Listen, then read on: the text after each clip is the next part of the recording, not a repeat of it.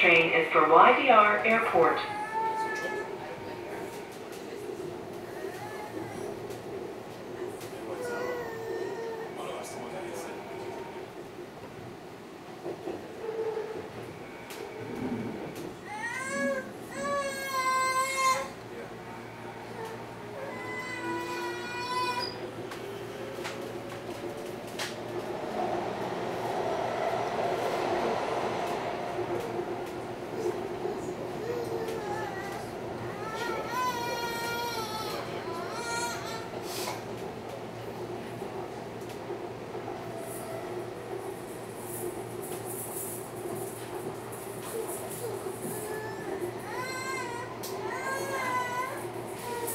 The next station is Sea Island Center.